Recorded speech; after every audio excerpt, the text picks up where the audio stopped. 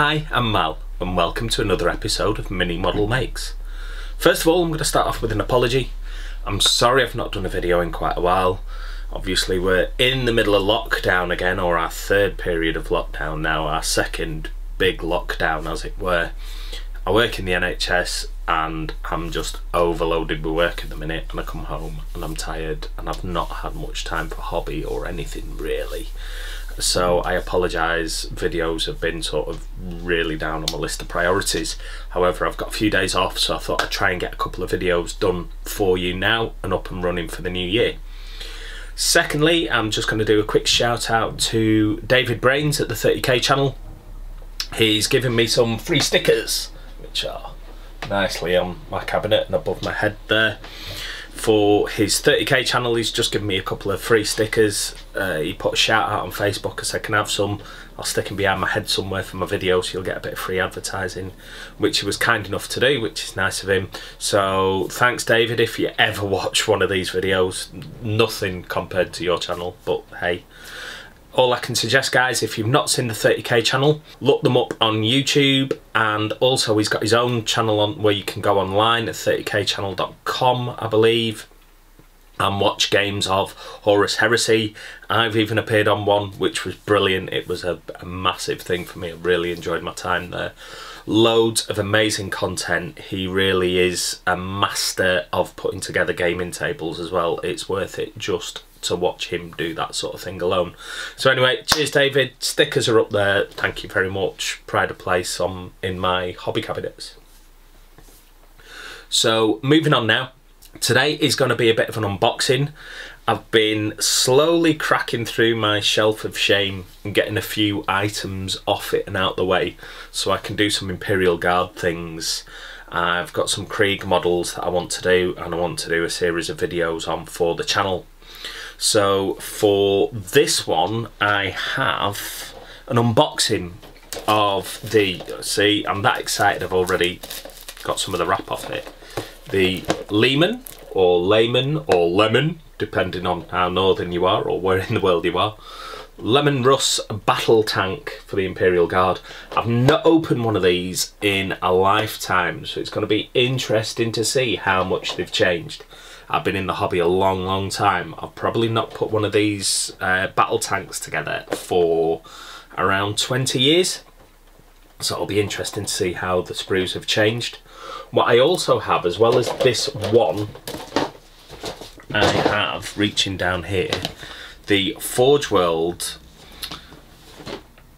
Death Korps of Krieg Mars Alpha Lemon Russ as well. The Vanquisher I will open this up on camera as well and show you the extras or, or what else, what's the difference in the kits. Really beautiful kit I think when I got this on Forge. I bought it a few months back ready for this day. So I'll open this up too and we'll run through them. Okay. So without much further ado let's get that overhead camera set up and we can go into a nice unboxing for everybody at home see you shortly. This is the Imperial Guard, or sorry, Astra Militarum Leman Russ battle tank from Games Workshop for the Warhammer 40,000 range. I'll rip all this cellophane off. So this is the MBT, or main battle tank for the Astra Militarum.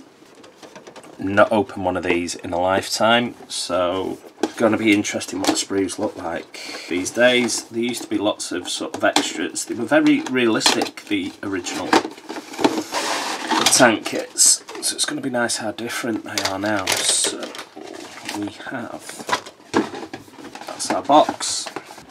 Uh, the artwork on the back with the options for the weapons and what paints Games Workshop used there which is quite cool. That's it really. Just goes through the different type the exterminator the vanquisher vanquisher battle cannon and the eradicator. Sorry got lost there a little bit. There we are the different sponsons. They look like Cadian tanks to me. Nothing else in there. We have some transfers the different main guard regiments there, Armageddon, Valhalla, Catachan, Cadia, Tallarn, Mordi, all the, all the usual suspects, different stars, sickles, army and company markings and things there, command tanks, that's quite nice. Look forward to maybe using those with Krieg because you can't get any Krieg transfers anymore because they're like rocking poo. We've got one set of instructions which goes through the main battle tank, the exterminator, the vanquisher and the eradicator.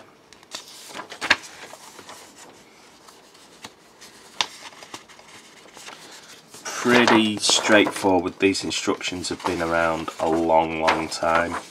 This tank's been around a long long time. You go through everything there and then at the back you have some rules. Now I don't know whether these are the current edition's rules or not. I don't think they are, so I won't run through them. But you do have, I'm sure they will have the new version of the rules now in these box sets. So we have two frames, that is it. Used to be more. We have our main frame with the chassis tracks, the smoke launchers there.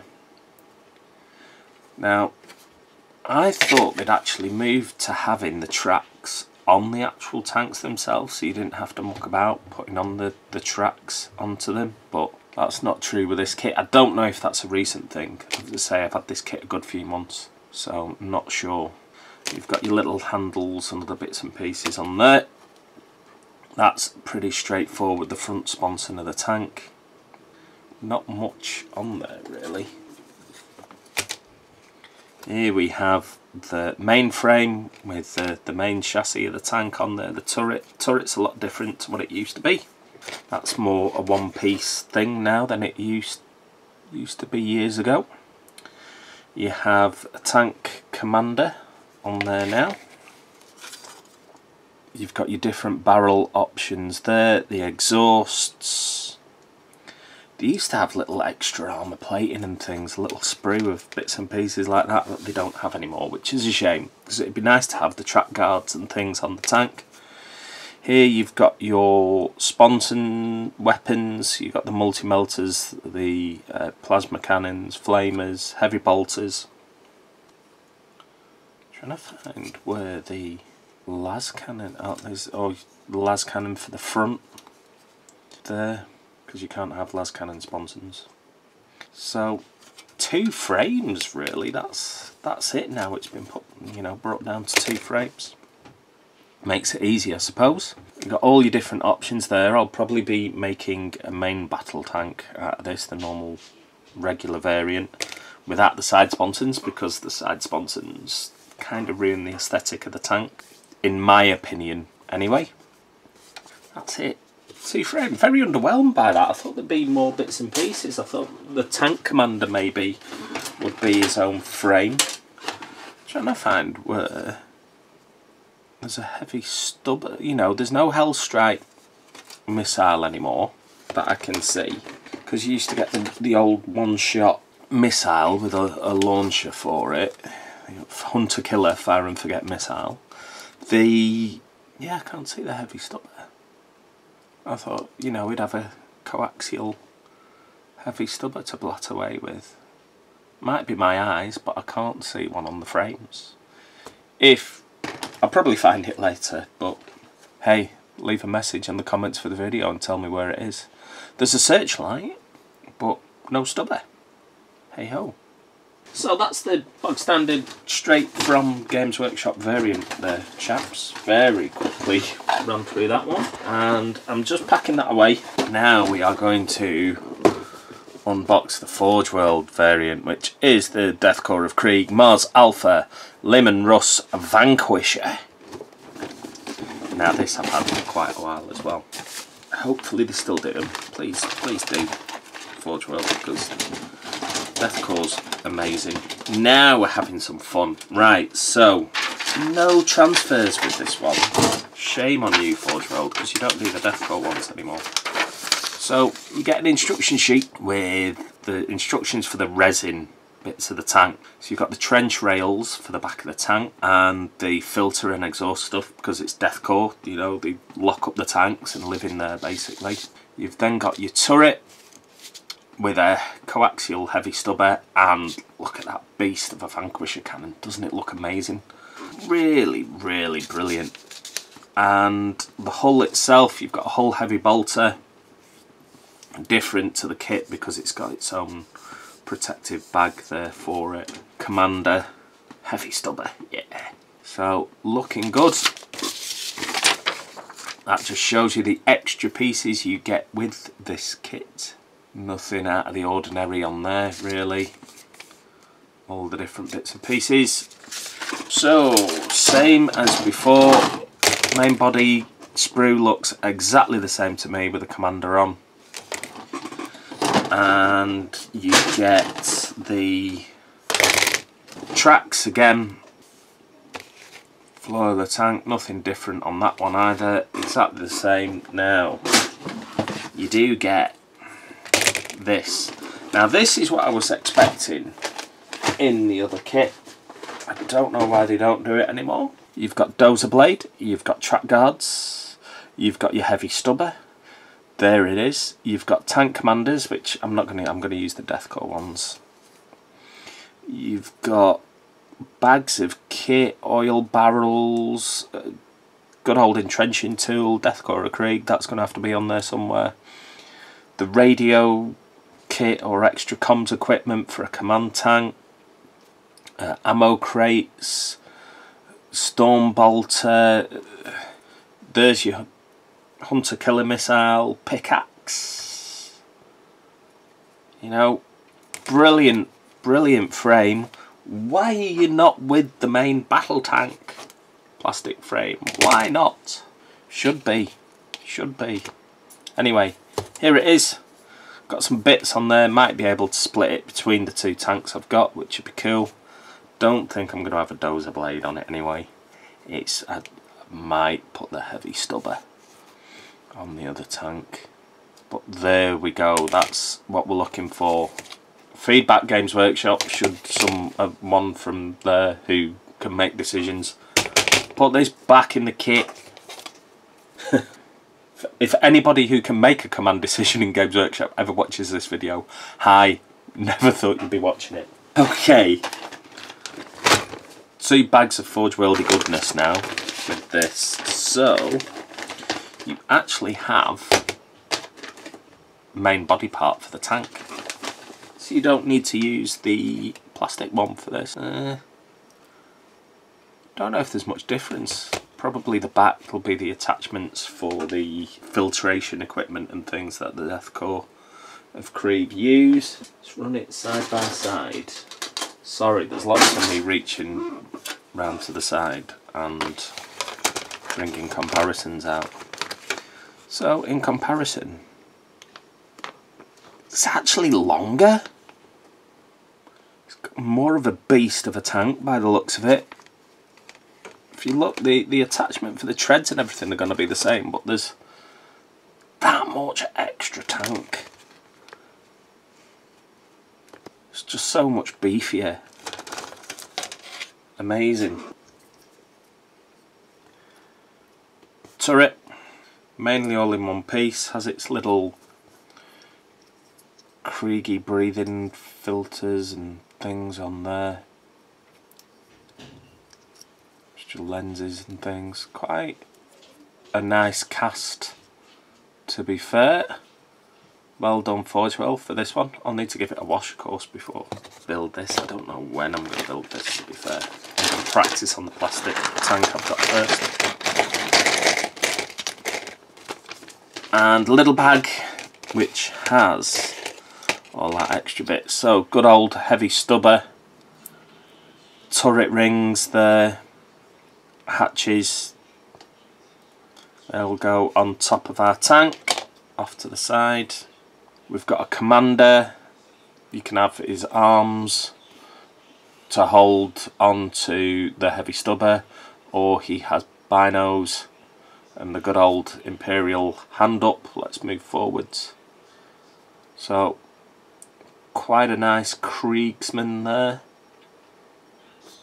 Very cool this is the extra filtration gear and a nice Aquila for the back of the tank. That'll be for the turret probably turret ring. More filtration gear. Really nice casting. Gotta say Forge World you gave me a good one. Look how long the barrel is. It's a beast. It's all in one which is really good. My coaxial stubber needs a bit of hot water to straighten it out but not the end of the world. If I compare it to the longest turret we have on the actual plastic tank like twice the length it's just beastly. It's really cool. So there we go. Yeah bit of hot water as I said. We're gonna need to sort out that. Stubber. We're not mucking about on this one. You're not having a heavy bolt oh no you are having the choice. You've got your heavy bolter in its leather case or you've got las cannon. I'm gonna have a las cannon on this. It's a tank. It's a beast of a tank. It's gonna be taking out other tanks. Let's get the las cannon on a bit of extra power.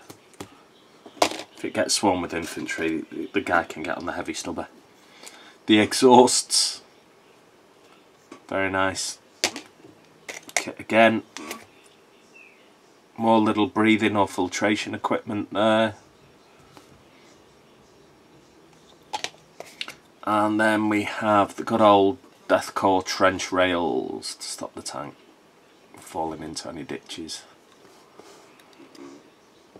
And that's it. You get quite a bit extra to be fair, which is alright. So Leman Russ MBT main battle tank is £35 from Games Workshop. Not a huge amount compared to other vehicles they do, but now you only get those two plastic frames in it. You don't get that extra frame, which to me is what you really need to make your tank stand out. Let you guys think whether that's worth it or not. And the Death Korps of Krieg Mars Alpha Pattern Lemon Russ Vanquisher is £67 from Forge World. So almost double the price of the plastic kit. You get the extra frame with the commander and stubber and all those sort of bits and pieces in.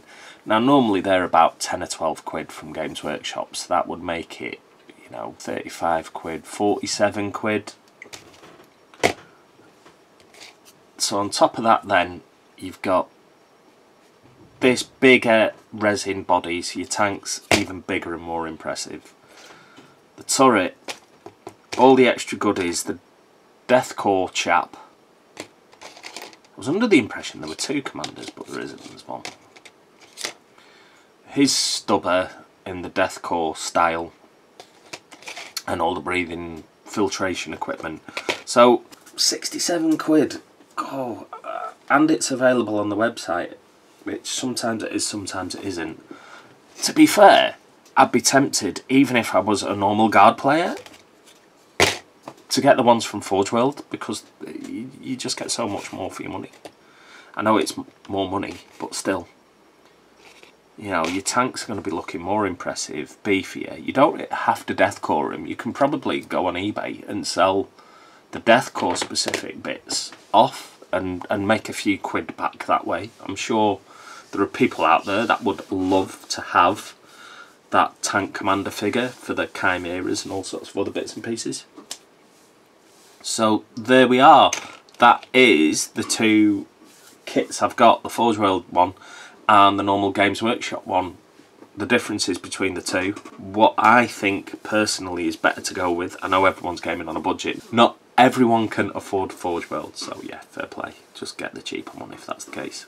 It is an expensive hobby.